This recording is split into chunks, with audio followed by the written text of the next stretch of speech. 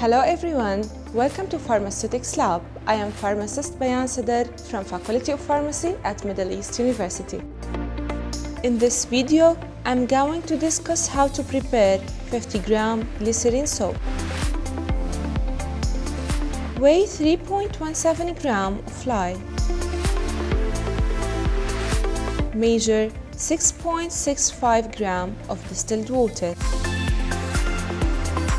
Mix this lye and distilled water in an evaporating dish. Heat this lye solution between 57 to 62 Celsius using water bath. Weigh 10.57 gram palm oil. Weigh 4.23 gram coconut oil. Weigh 6.6 gram castor oil. Mix the oils together in the evaporating dish.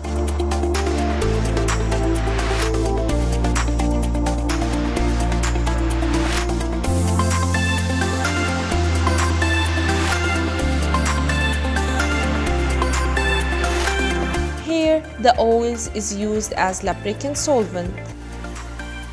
Heat the oils to the same temperature as the lye solution.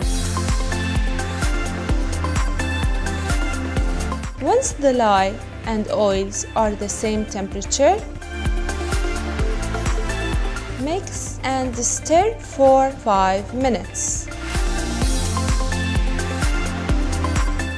7.4 gram of ethanol. Here, ethanol is used to prevent soap from crystallization.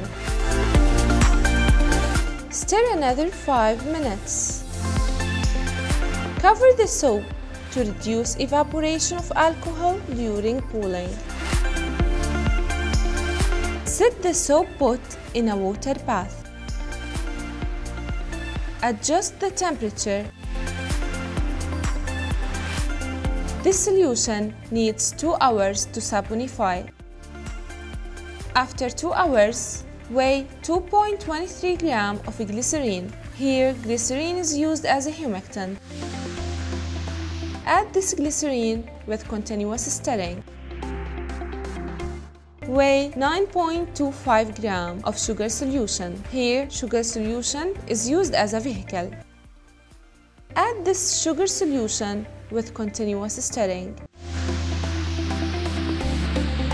Pour the glycerin soap into the silicone soap mold.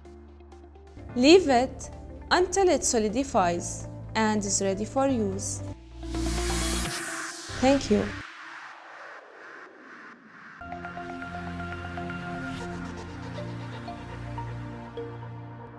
جامعة الشرق الأوسط نعد القادة